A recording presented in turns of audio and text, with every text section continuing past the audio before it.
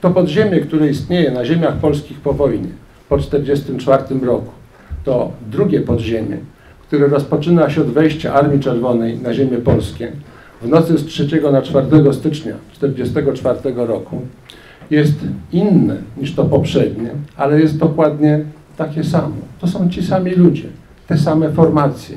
One później zmieniają nazwę, przeobrażają się, ale chcą tego samego i walczą o to samo, chociaż już z innym wrogiem. Przedtem, do 1941 roku, Polska ma dwóch okupantów, Związek Sowiecki i trzecią Rzeszę Niemiecką. Później jest trzecia Rzesza Niemiecka. I gdy od wschodu w styczniu 1944 roku wkracza Armia Czerwona, wkracza do Polski jako siła, która nas wyzwala. To jest prawda. Im tego nie wolno odmawiać. To byli wyzwoliciele. Ale wyzwoliciele, którzy przez wyzwolenie rozumieli zniewolenie. To równie dobrze, gdybyśmy potraktowali Niemców w czerwcu 1941 roku, że oni wyzwalają wschodnią część Polski spod okupacji sowieckiej. Rzeczywiście, byli wyzwolicielami.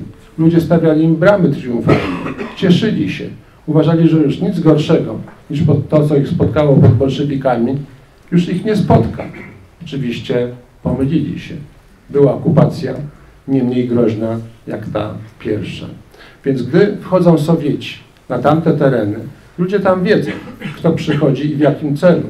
Tym bardziej, że Sowieci mają specyficzny status. Są sojusznikiem naszych sojuszników. Nie są, nie są naszym sojusznikiem, tylko aliantów zachodnich. Polska w tym czasie jest pionkiem w grze.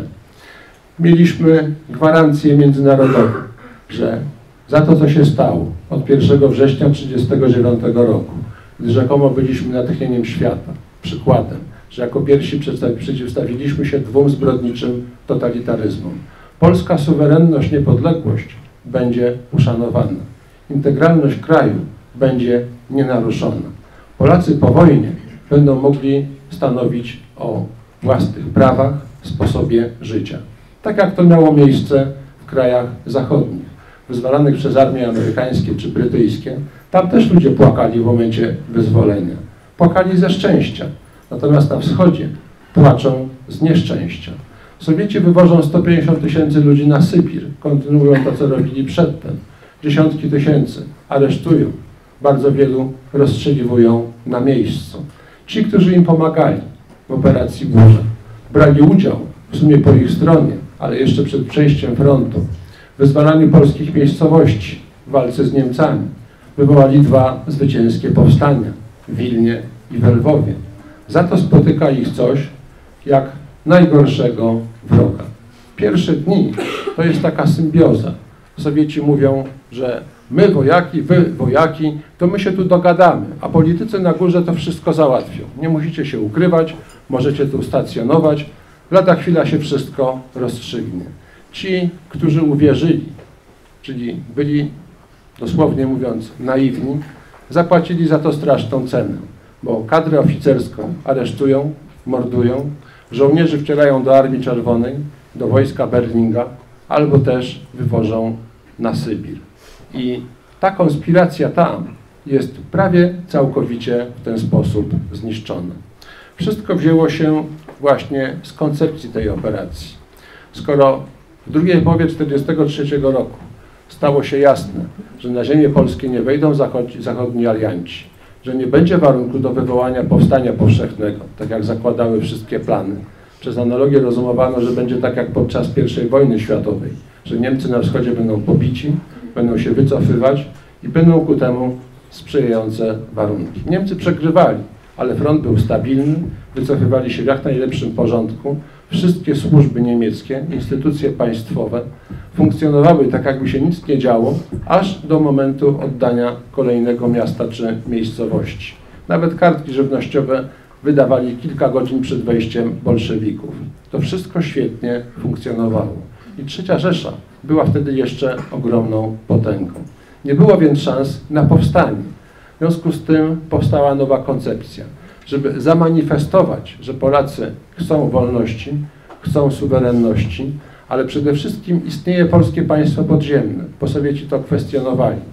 Oni na zachód mieli propagandę, że jest tylko Polska Partia Robotnicza i Gwardia Armia Ludowa, która rzeczywiście bije Giermańca. Natomiast AK stoi z bronią u nogi, a reszta, szczególnie Ensza, faszyści z NZ, współpracują z Niemcami. To był przekaz propagandowy na zewnątrz. Chcąc się temu przeciwstawić, w akcji Burza wymyślono, że jeśli przystąpimy do lokalnych powstań, lokalnych działań, pokażemy się, to Sowieci tej propagandy nie będą mogli stosować. Ale wykonanie tej akcji było najgorsze z możliwych. Komendant Główny Armii Krajowej, generał Tadeusz Komorowski, pseudonim Bur, w tajnej depeszy z 26 listopada 1943 roku, a więc tuż przed wejściem Sowietów na ziemię polskie, informował naczelnego wodza. Nakazałem ujawnienie się wobec wkraczających Rosjan dowódcom i oddziałom, które wezmą udział w zwalczaniu uchodzących Niemców. Zadaniem ich w tym momencie będzie dokumentować swym wystąpieniem istnienie Rzeczpospolitej. W tym punkcie rozkaz mój jest niezgodny z instrukcją rządu. Dowódca Armii Krajowej złamał instrukcję polskiego rządu na wychodźstwie i złamał rozkazy naczelnego wodza. Dlaczego?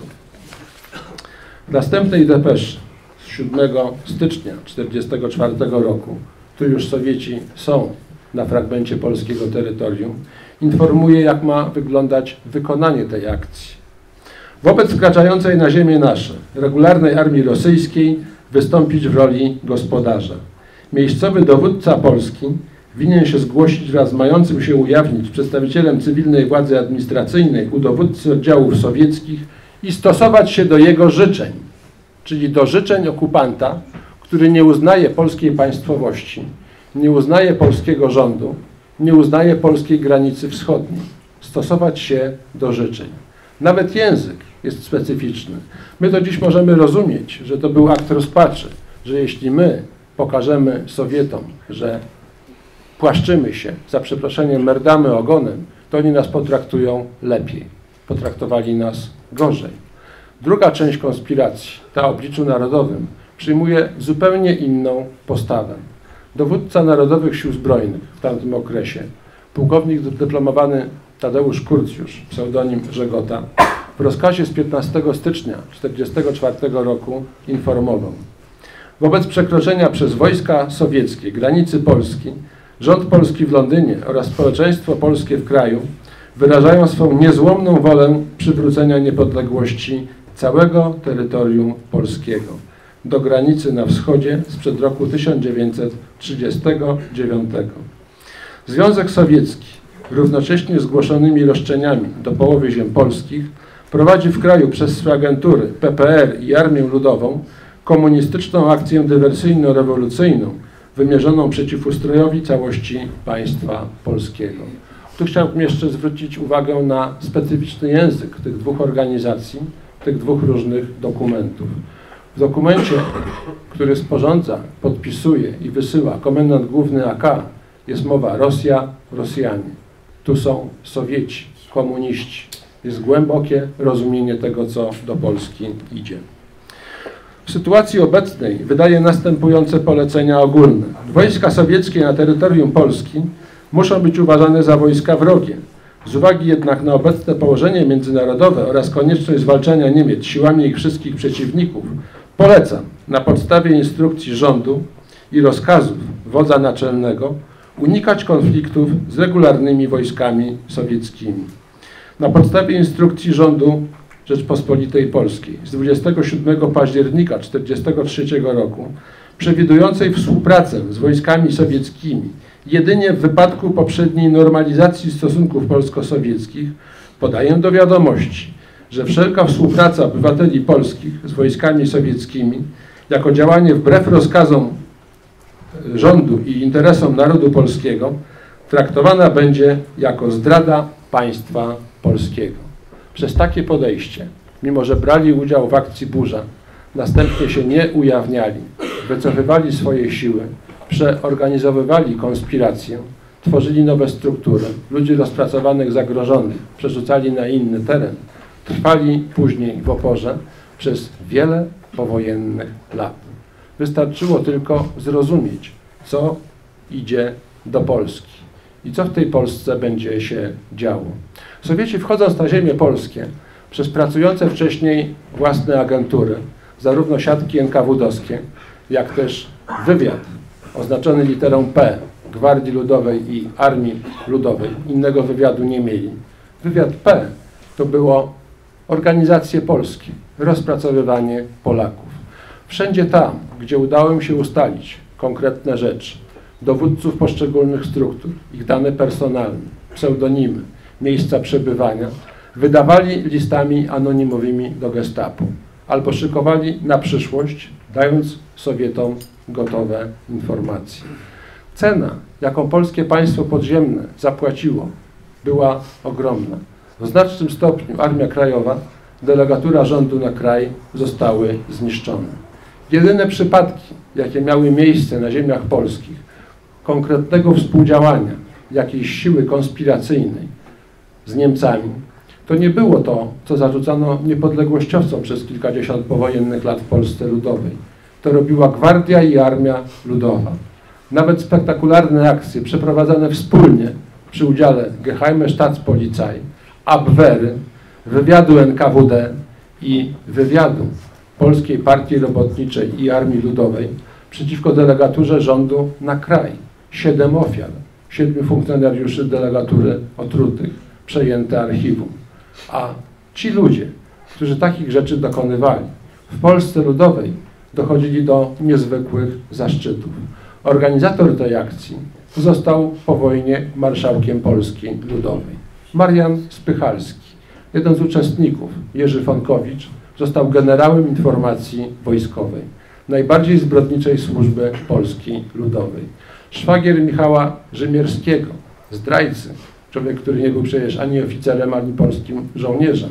On był przed wojną z wojska wydalony, zdegradowany do stopnia szeregowca, skazany na wiele lat więzienia za malwersacje finansowe, a później mianowany przez Stalina marszałkiem Polski. Jego szwagier, uczestnik też tej akcji, doszedł zaledwie do stopnia pułkownika informacji wojskowej, był oficerem śledczym. Jedyny z tego środowiska skazany na niewielką karę, bodajże roku czy dwóch w zawieszeniu, za tortury, znęcanie się nad więźniami politycznymi po wojnie.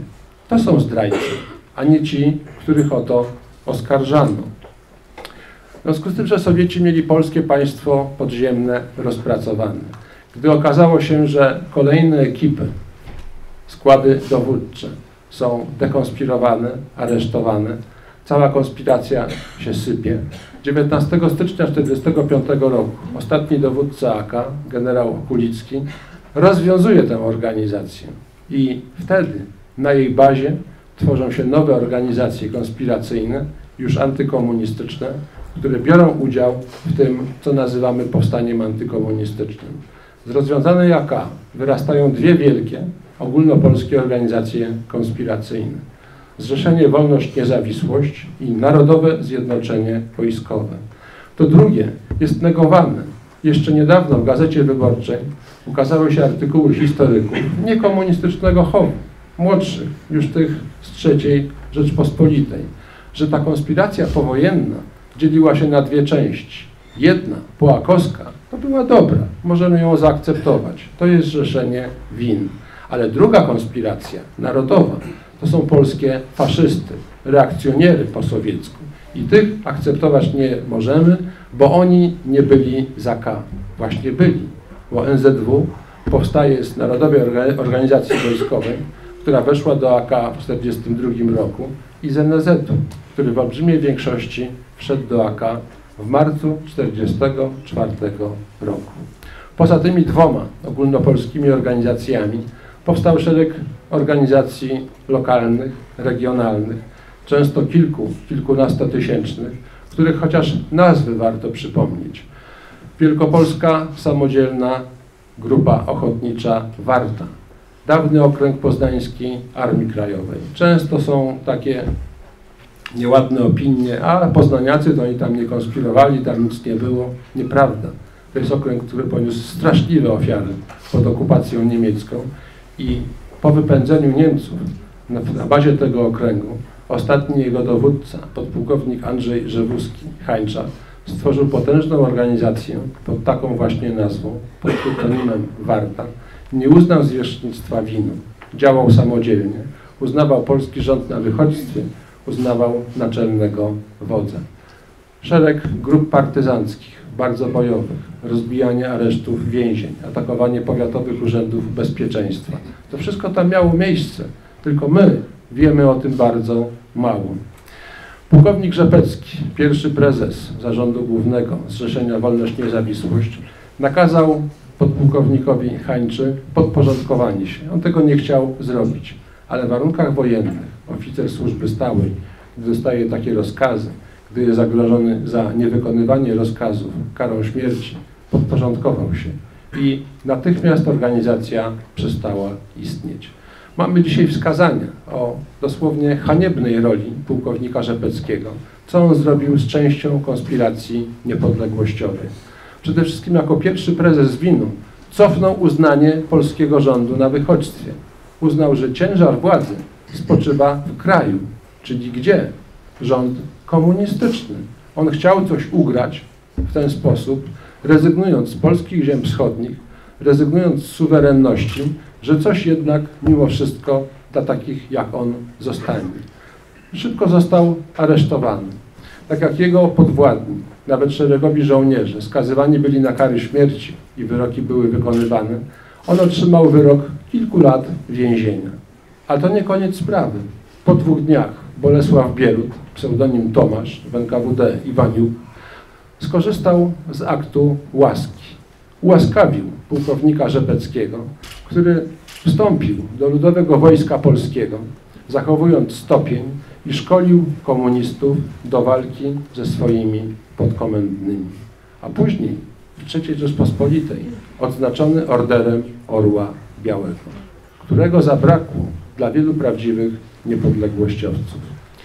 Inne organizacje to jest konspiracyjne Wojsko Polskie w centralnej Polsce na Śląsku, dowodzone przez jednego z niezwykłych partyzantów, kapitana Stanisława Sojczyńskiego, pseudonim Warszyc, też później zamordowanego. To jest ruch oporu Armii Krajowej, to jest okręg Armii Krajowej Obywateli na Białostoczyźnie. Różne organizacje regionalne, młodzieżowe. Ta konspiracja jest bardzo żywa, bardzo różnorodna, ale cała ma jeden cel. Walkę o niepodległość Polski. Uznanie polskiego rządu na wychodźstwie uznanie, że jest naczelny wódz. I celem tego powstania jest dotrwanie do momentu, który był zagwarantowany Polakom przez państwa zachodnie.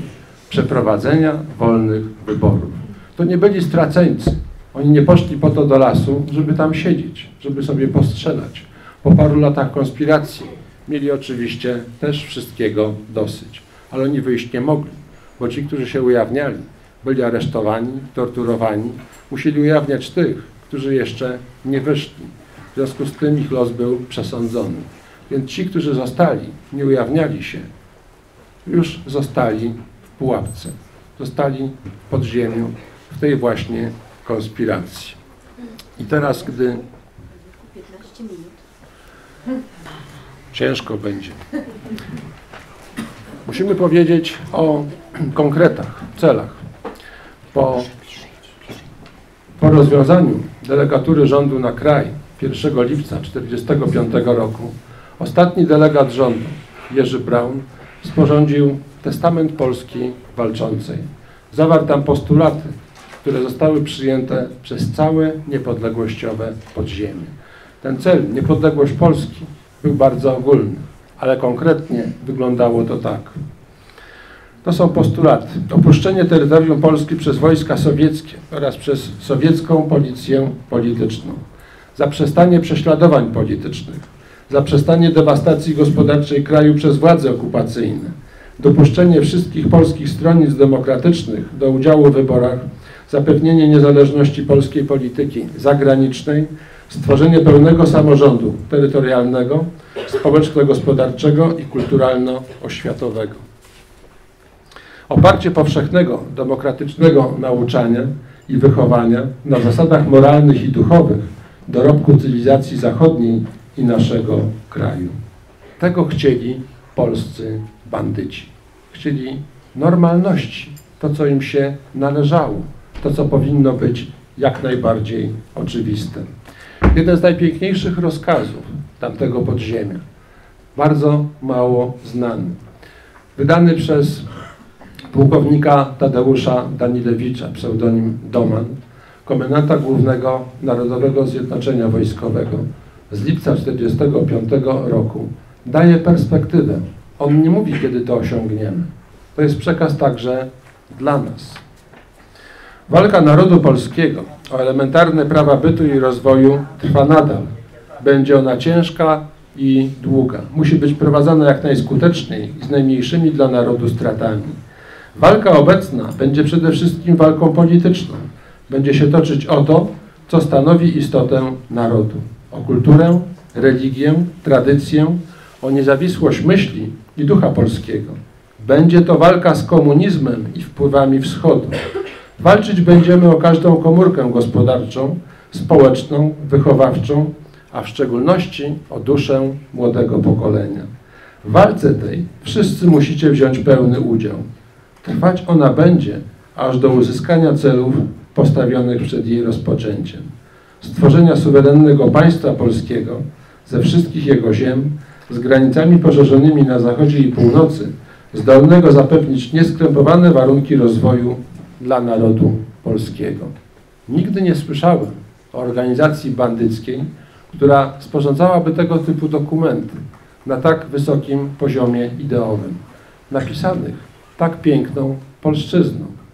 To jest nasza bardzo niedawna przeszłość. Musimy do niej wrócić. Musimy o niej wiedzieć. Ta walka była przegrana. Zostaliśmy całkowicie oszukani.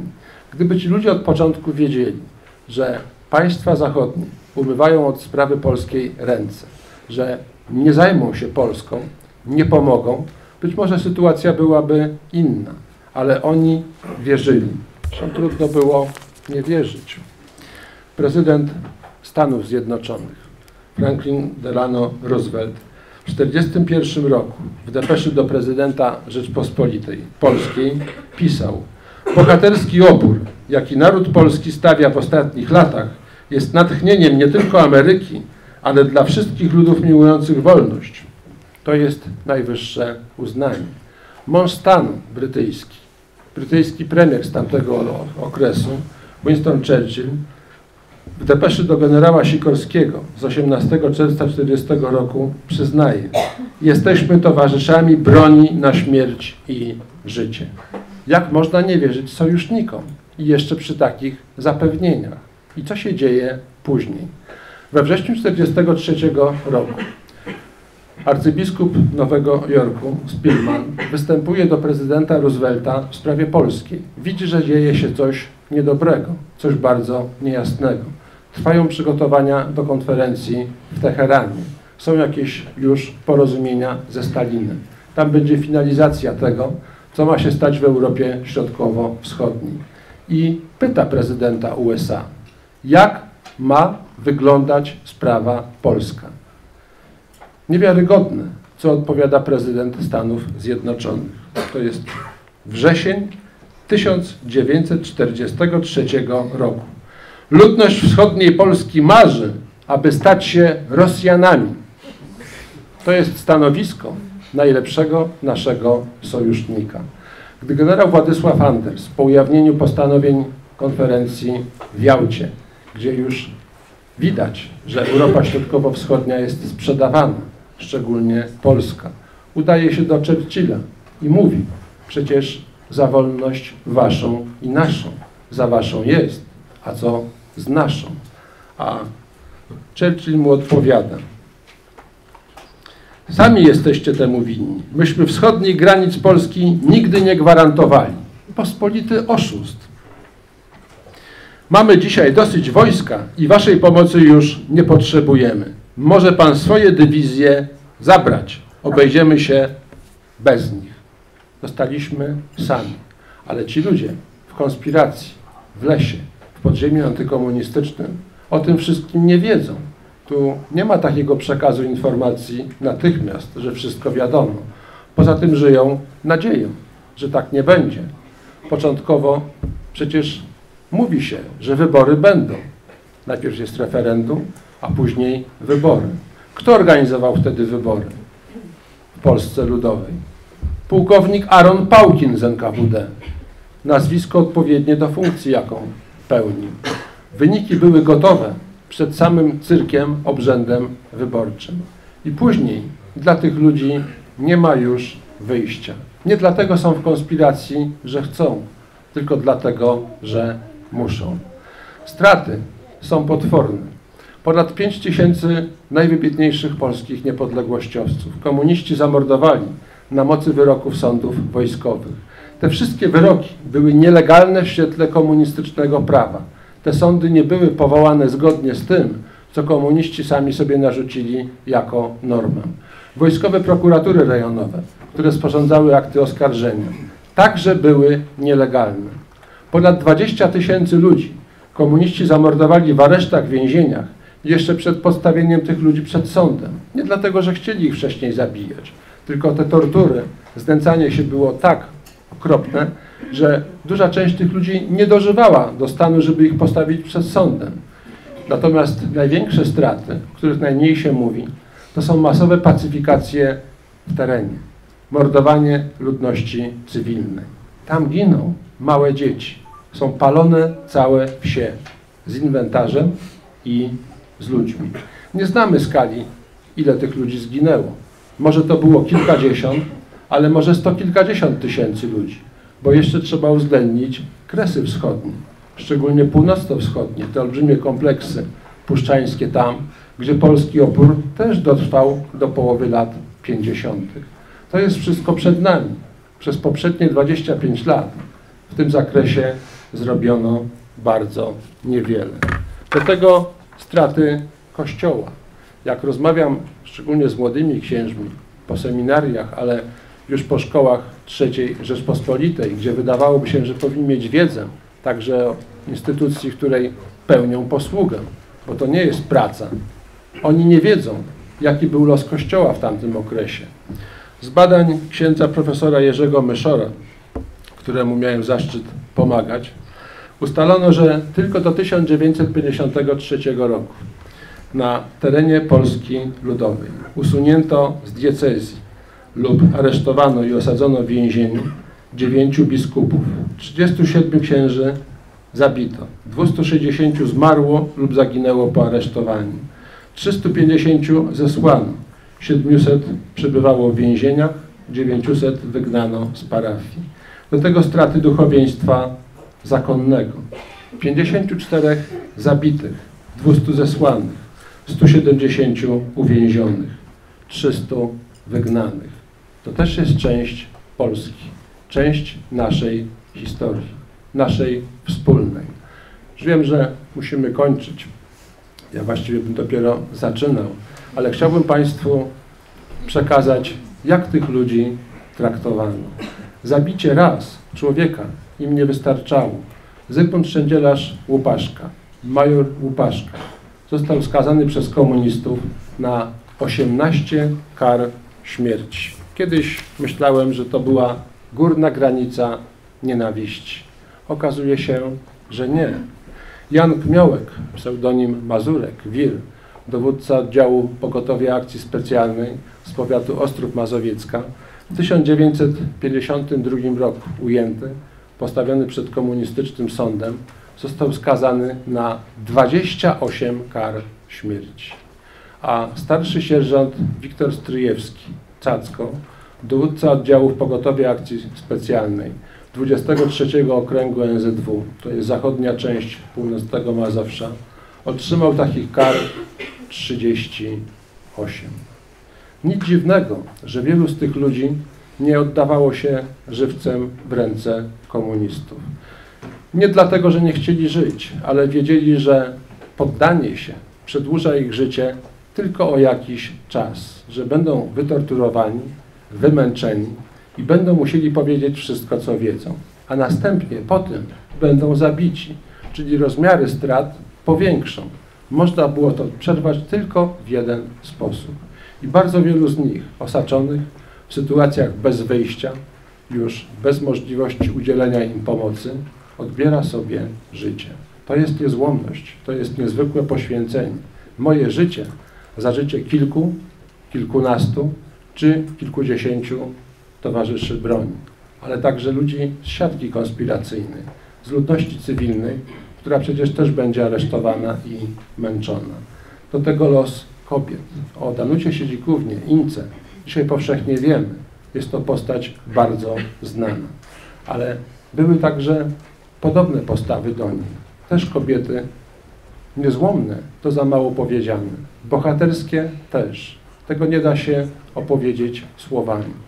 Dwudziestoletnia Elżbieta Kozanecka, pseudonim Basia, otoczona w bunkrze, już bez możliwości wyjścia. Razem ze swoim narzeczonym, partyzantem i jeszcze jednym żołnierzem rozerwali się wiązką granatów. O tych ludziach musimy wiedzieć, musimy pamiętać i nie możemy dopuścić do tego, żeby byli poniewierani i wyzywani od polskich bandytów. Najmłodszy więzień polityczny to jest cały czas związane z tematem, z żołnierzami wyklętymi. To był syn Antoniego Żubryda, dowódcy oddziału Narodowych Sił Zbrojnych Rzeszowskiego, pan Janusz Żubryd. Po raz pierwszy osadzony w więzieniu za działalność ojca, gdy miał 3 lata i 7 miesięcy. Siedział z babcią i z ciotką, przecież ktoś się musiał nim opiekować w Wojewódzkim Urzędzie Bezpieczeństwa Publicznego w Rzeszowie.